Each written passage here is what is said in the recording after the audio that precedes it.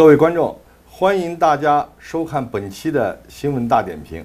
今天呢，我们邀请了洛杉矶著名的律师申成斌先生。申先生好。呃，林先生你好，各位观众大家早上好。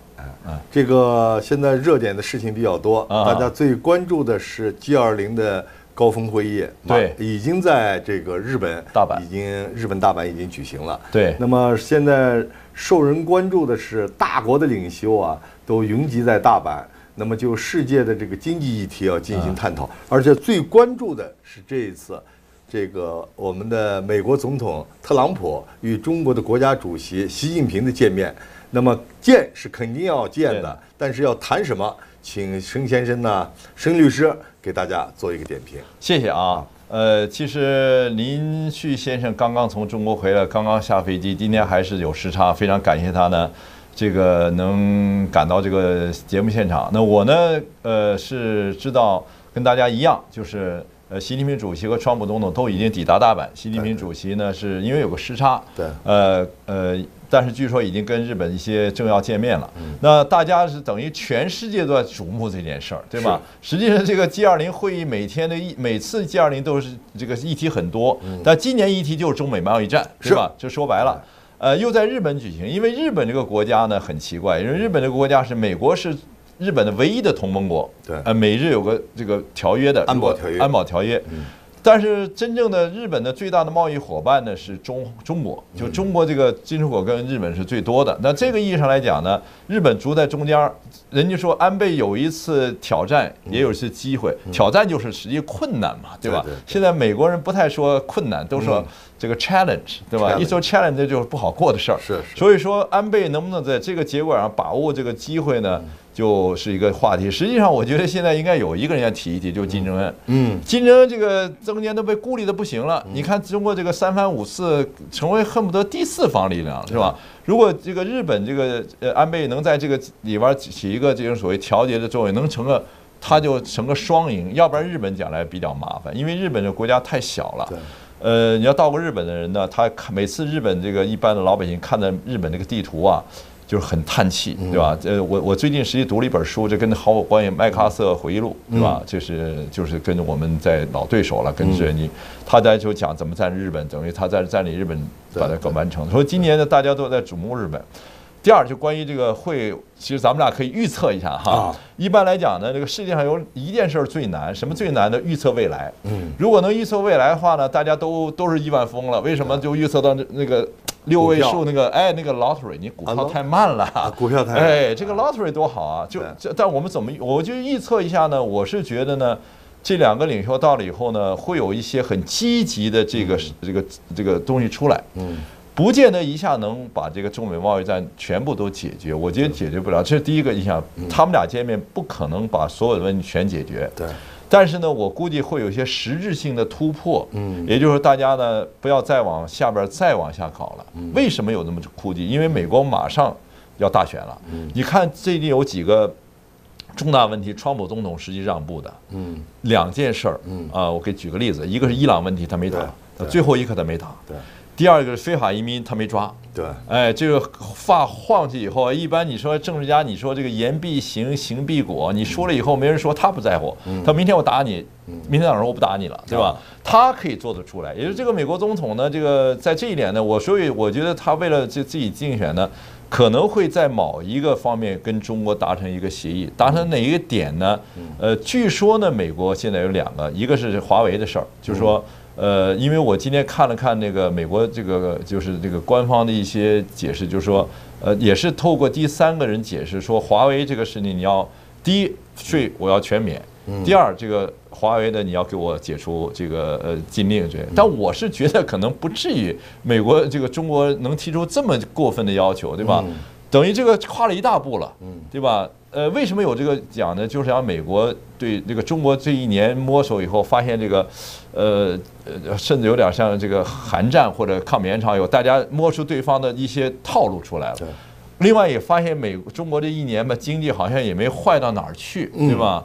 因为这个中国习主席有一句话说，我们是一个大海，我们不是一个小湖。对对。呃，当然这个我还有一个想法，因为我们都是华人，虽然我们现在是美国公民，但我们知道我们这个炎黄子孙在世界上是不分国籍的，对吧？我们都知道一八四零年的时候那个鸦片战争，中国这个就中国人对于这个自己的民族的一些耻辱的事情是记忆犹深的。美国人不理解这个东西，西方人也不理解这个。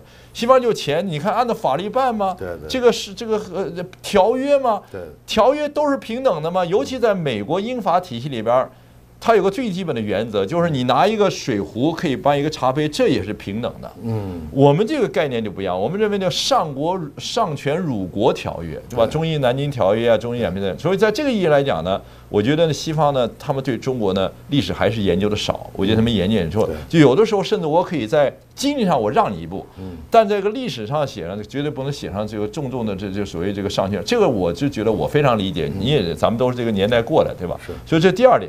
所以我还有一个点呢，就是我知道那个川普总统呢跟习主席也没就从北京见没有见了，在这次见面以后呢，我觉得在姿态他们俩如果说握握手，说他就谈的比较好，对股票是个好处，对吧？你不谈到股票嘛，对整个美国经济大的发展是一个好的印象。当然，我觉得谈可能还是要要要要往下走。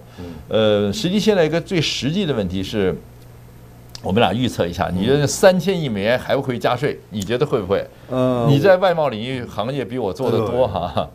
呃，我是感觉到这次 G 二零会议，呃，我觉得中方对这个会议抱的希望不大。嗯，为什么呢？因为刚才我回来。呃，因为经过去年五月份，中国叫呃中美贸易摩擦，对，美国定义我们这边都说，对我们这边都叫贸易战，对吧？不管怎么说，实质是一样的，就是加税和不加税的问题。对对对。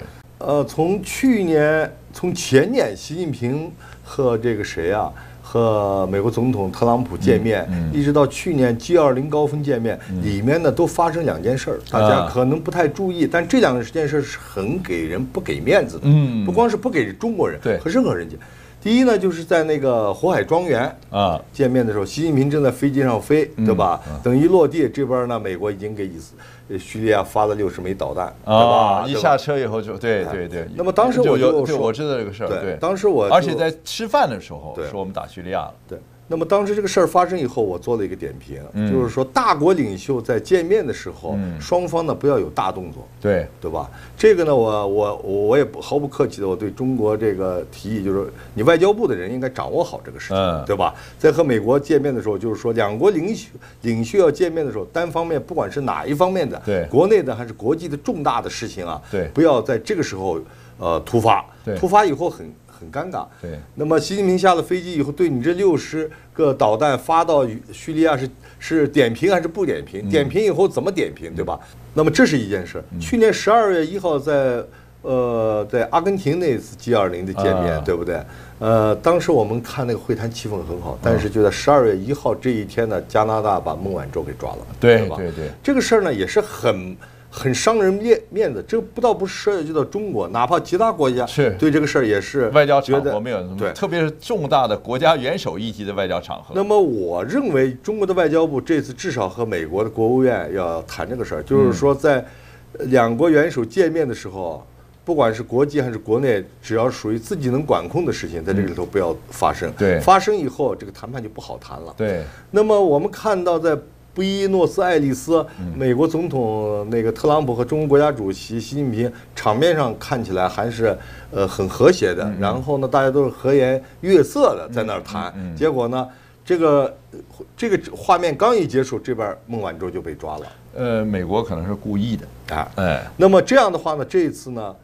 中国呢，第一呢，信就是对这次的希望不大；第二呢，防备很足，对对吧？你在这个见面之前，谁知道你有鼓捣个什么问题呢？对对，对不对？刚往那儿俩人一坐，坐下来正好谈贸易战，那边伊朗打响了，对对不对？这都有可能啊，是对不对？你是中断还是不中断，对吧？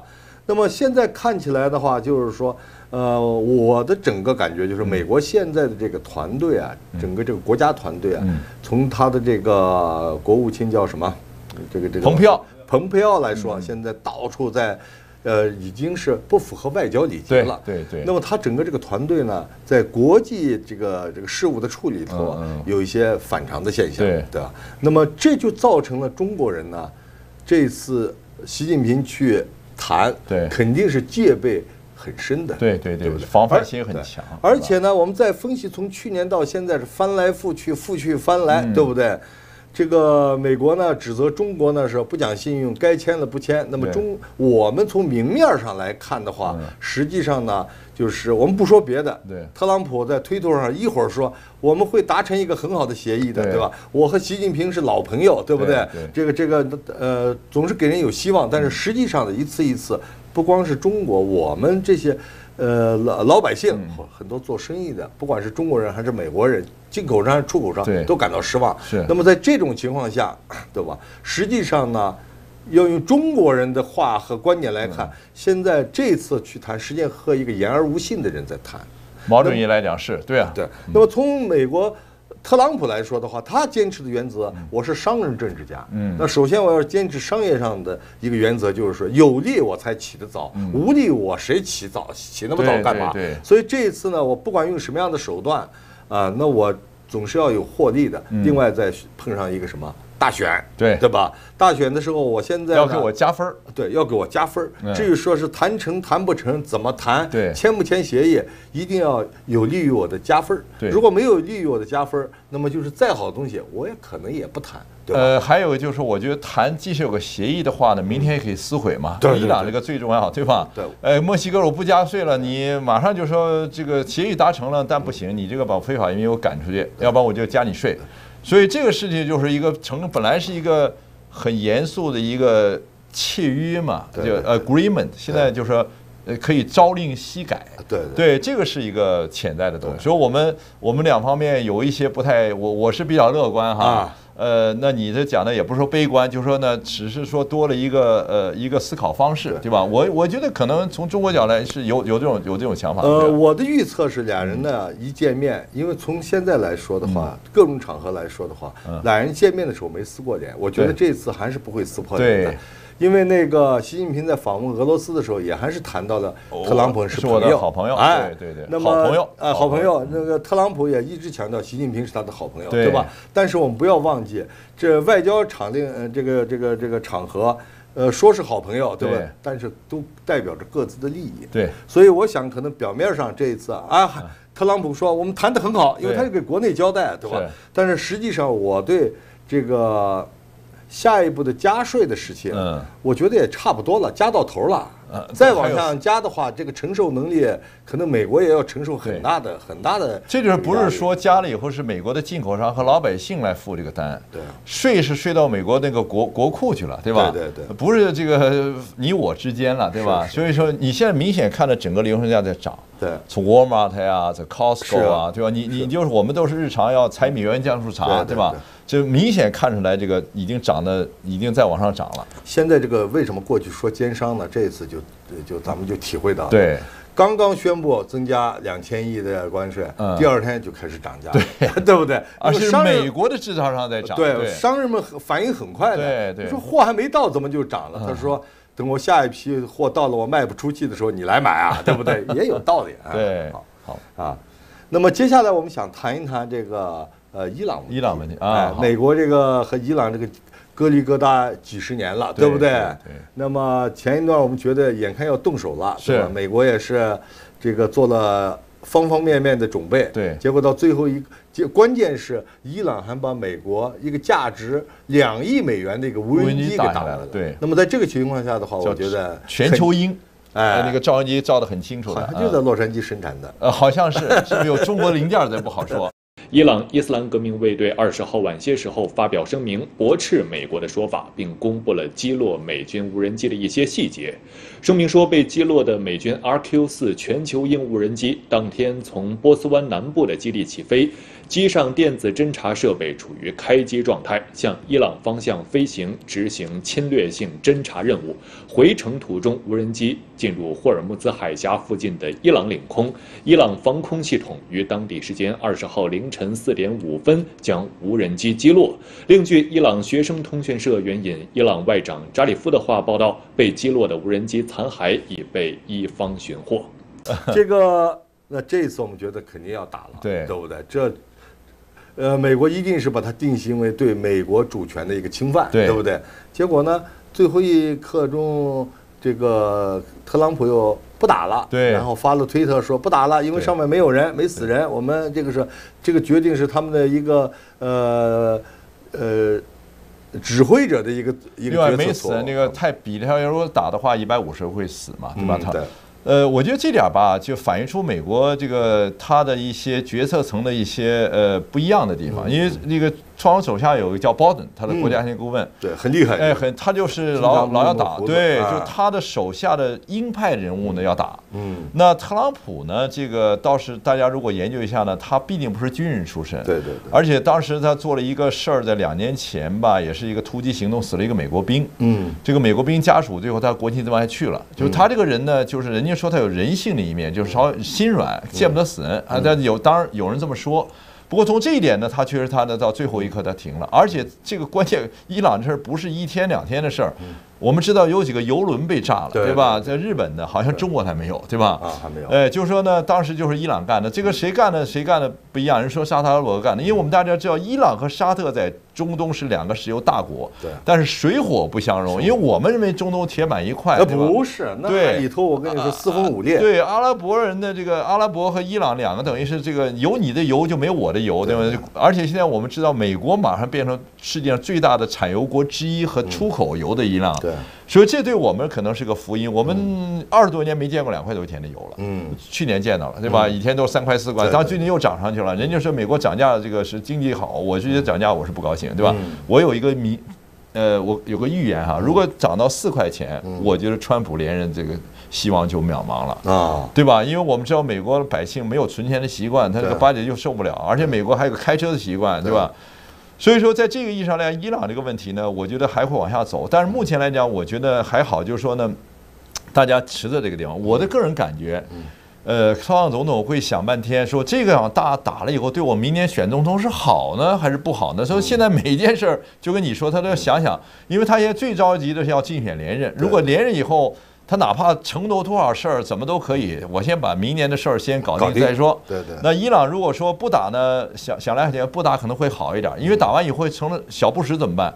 伊朗真是把那个霍尔木兹海峡给封了怎么办？对对对如果真是很多导弹打到以色列怎么办？对你看看地图，那个伊朗有这么大，以色列就这么大。对，呃，这是一看这个就是很危险。其实真真正想打的是以色列，想把想把伊朗给灭了，对吧？那也不大可能，也呃，不太容易，因为伊朗这个它的整个跟伊拉克不一样，人比伊拉克多，嗯呃，这个呃这个，而且它整个国家内部还是比较团结，政教合一嘛。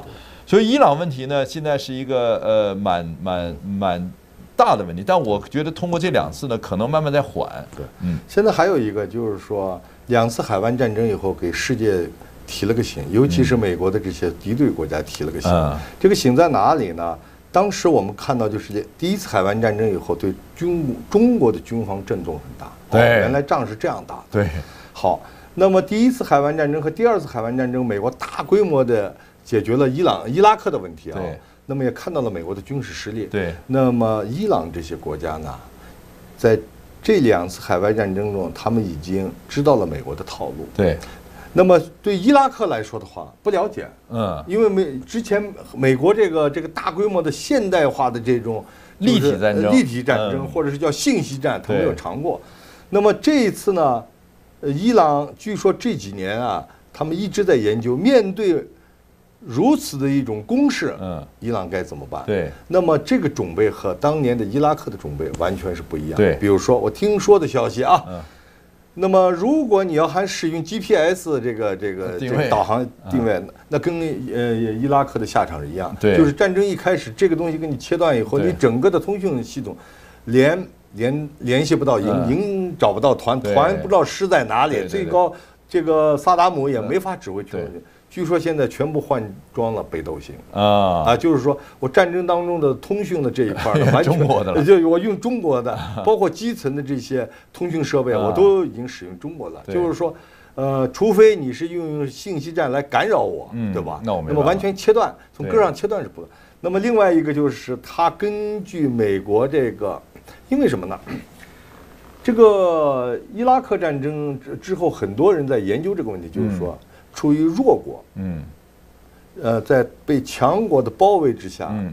与其被人家瓮中捉鳖嗯，束呃这个呃坐以待毙嗯，束手就擒嗯，不如你主动出击。对。主动出击呢，往往呢，根据这个中国游击战的战略嗯，往往还能够获，比如中原突围。对。对，为什么呢？当你的武力绝对强大的时候，你以为摁到那儿那个东西是不会反抗嗯。的，所以你在步兵，呃呃在调布局嗯，但是这里头有很多弱洞。对。那么在这个时候，他知道自己是，呃，就是伸脖子一刀、缩脖子一刀的时候，他派出尖锐部队，突然在你那个某个薄弱的方向要插进去对，到让你是给你打你一个措手不及。林旭先生这个战士学的不错。啊，所以呢，这个我就讲，像为什么像朝鲜一直就嚷嚷，我要遇到威胁我就要动手了，而且一旦人家动手，你没有还手之力绝对没有还手之力了。所以面对美国这样的强国，很多军事学家就是说，只有在他准备的时候，你感觉到这一劫是逃不掉的时候，那你一定要主动出击。你就出击以后，打乱他的部署，或许你还有生机。是。所以呢，美国在获得这个信息之后，对吧？发现你在准备的时候，人家要动的时候嗯。啊，这个事儿啊，对你造成的伤亡会很大。这时候国内的反战情绪以及认为这个大家的失望情绪就会出来，反而对连任。这个连任是非对这个这个特朗普的连任啊是非常不利的。对。因为人们一般就看开战前三天，对。对不对？前开前三天要那个接连不断的那个部队一一有伤亡的时候就麻烦了，对。吧？所以我呃在飞机上我就昨天看一嗯个小的视频，呃，这个一个苏联的二战的一个苏联指挥官嗯把那些死囚从那个监狱里放出来，让他们嗯上前线，对然后告诉他们，对吧？现在呢，我们把德国人呢，德国人在禁锢我们，但是我们组织了强大的反击，嗯如何如何如何如何如何，我们的胜利将是属于我们的。这里面有个囚犯说了一句。基辅不是刚刚丢了吗？指挥官非常不满意，按照战争的法，当时就把他给枪毙了，嗯对吧？那么意思是什么呢？就是还是看战争开始的对对对如果战争的前三天你拿不到决定性的胜利的掌控权，反而被人家突击了，这个事儿连任的希望可能就不大了。对不管伊拉克战争现在陷入到是如何深的泥潭，嗯嗯开战的那几天是确实是很漂亮的，对不对？对。还有一个我加两点哈，因为这个现代战争需要很大的费用。其实美国我们知道呢，就是这个很重要一个这个双总一定要算的。从军方来讲呢，军火商喜欢打，但美国真正大规模次之产生是伊拉克战争。嗯，你看那个克林顿战争，美国是平的，对，完了一下就马上次质就高起来了，就是人打了仗对。那那个时候还算师出有名，嗯因为他把伊拉克那个呃这个占了。如果你这么打下去以后，你就师出无名。加上我估计呢，这笔钱很重要，对因为美国这个美国美军部队作战都是那种大量的人力物力，对吧？所以在这一点上，我是觉得呢。呃，还是争取呢，别太打。另外，我们也知道，这个打仗还是要是这个伤及无辜啊，对大？炮一响，黄金万两。呃美国这巡航导弹一个就几千万，是美金啊。对，但是呢，这个你发美上10个国家20个就次质又该高了呀，对吧？嗯，是。呃，这那行，我们嗯接下来谈谈我们美国国内的新闻吧。对。呃，据说最近要进行二零二零的人口普查。对，美国是十年一次，对，十年一次。好咱们讲讲。那个最近呢，我们知道这个美国是二零二零年有个人口大选叫 census，呃，很难想象十年前啊，这个挨家户敲门，基本上就是美国他会这个时候有些先跟观众讲一下，美国大选之前呢有很多。呃，part-time job 有很多工作机会，对你可以到人口人去申请申请一下，看你能不能就做个人口普查员，他按小时雇对付你的，OK。那今天最大争议就是说，在这个人口大选呢，有一个表格，表格里边叫你填你是不是美国公民。嗯，这半年以前就是这个事情，因因为这个每年没有这个统计，那今年呢，川普总统命令财政部说要加一条。嗯，这个案件为什么重要呢？就是说呢，如果一旦写你是美国公民，据说有一千万的美国人，甚至几千万美，他不不敢写了。为什么？现在我们知道非法移民是很大的一件事儿。嗯如果你写了我不是非法公民，我们家地址详细地址都在里边儿啊那个明明明天那个 ICE 就来了，国土安监部来抓你来了，对吧？对对对所以这一写以后呢，会把很多人的竞选填这个表的愿望，本来你不写，他是不愿意填。嗯，为什么要填这个表呢？因为这个表填了以后呢，如果州里边人口增多的话，会有很多好处。第一，联邦政府会拨款，嗯加州可能要拨呃，应该是一两亿至少是吧？对对然后你人口多了以后呢，你的这个选区会扩大，然后你的可能多一个众议员一个一个一个职位，对吧？对比如加州最多四五，因为我们加州是美国人口最多的州，对对对，就是今年的美国的大法官决定呢，就是今年不能加，嗯，为什么呢？就是说你这个充条件不充分，五个，五比四。那最奇怪的，为什么这个案子重要的就是美国一个一个保守派的主审法官叫 John Roberts，嗯他站在自由派的法官一边。我们知道目前的美国大的政治局势是最高法院的这个新的大法官都是川普总统任命的。嗯，你别看那九个人，那九个人的法律下来以后影响到美国全国的是。所以说这一两天美国有很多重要的判例下来，这是最重要的一个。最重要一个就是什么呢？自由派很高兴，为什么？就证明呢，美国这个主审法官呢。Roberts 呢，他是这次在这个案例站到自由派一边了。他做了两件事儿，还是 Obama Care。啊 Obama Care 他也是最后马上哎马上要推翻这个，他同意。他说这是个 tax power，是属于那个国会有收收税的权利，因为我们知道你要不卖瓦巴你会你会被罚款的。那今年呢，他站在美国的四个大法官，两个女的，一个叫 Kagan，一个叫 Sotomayor，三个女的老太太，还有一个就是那个 Ginsburg，还有一个 Bayer。呃，那那边就是川普总统两个大法官 Gorsuch、呃 Kavanaugh，完了再加上那黑人 Thomas，还有一个呃啊啊 Alito，这五个人呢都是一般来讲呢，这个都是政府和个人肯定站在政府面前的，对吧？那这个我是非常觉得这个 Roberts 呃他还是有 common sense，还是有历史感，还是有责任感。就是美国最高法院的一个决定下来，会影响很多人。我们下次马上往下看的一个另外一个案子，就是堕胎的案子。嗯，堕胎的案子现在可能很多那个都是说你被强奸了也不行，对吧？就很多州法，你一想这太太奇怪了是，你强奸你给他生出来，嗯，这个就美国南部那些法律，在我们看来那就是太离奇的事儿，但是蛮不就通过了，州长签字了，所以我们大家一定要在美国，除了那个国会和总统知道，还有一个叫 hidden corner，就是一个。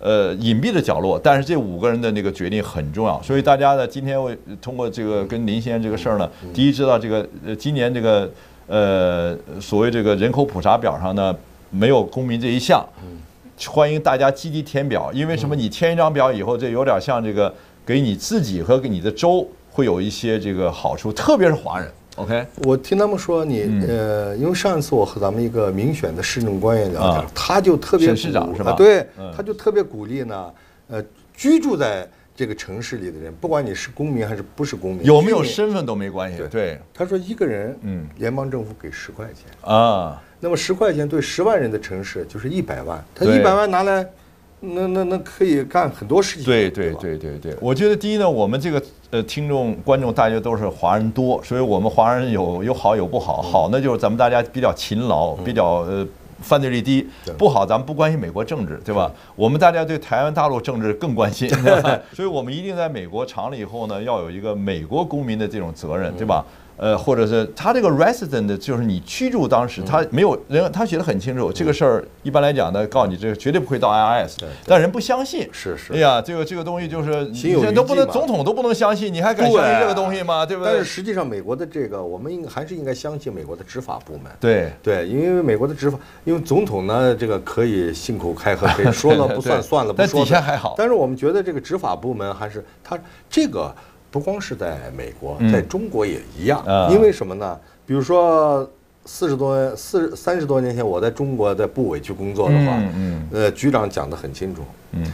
呃，经常有领导来指示。嗯，来讲话。嗯，我们工作的执行的时候，不是按领导的讲话来执行。对。比如说领导说这样说了不行，嗯。我们按条文，对，哎，一定要按照我们形成的条文来执行。嗯。哎，这我们就概念就清了，嗯。对吧？那么领导的东西更多的是体会他的精神和意图，对但是真正怎么执行，看文件。美国是按照法律来执行，哎所以呢，都有我觉得这这在这一点上，执法部门还是这个呃中美两国还是有相同性。对另外一个就是说，呃，这个我觉得刚才申律师提的非常好，就是我们的眼光不单要放在国际大事儿，嗯不单要放在中美两国的这个呃关系问题上对，以后我们的节目应该多注重一下。这个请申律师多谈一点涉及到我们的生活的一些美国的事情。对，呃，尤其是什么呢？呃，油盐酱醋柴，各家都会自己买，对不对？那么国会发生的事儿，美国总统那儿发生的事，行政部门发生的事，很多涉及到或者州里、县里、市里发生的很多事情，带有法律性的。嗯我们有时候呢想了解，但是因为我们的很多新移民英文的问题，或者没有时间，我们希望沈女士以后在咱们的新闻大点评里头，我们抽出时间把这一块加强一下。好，谢谢啊。好吧，谢谢大家，好，谢谢各位，谢谢各位。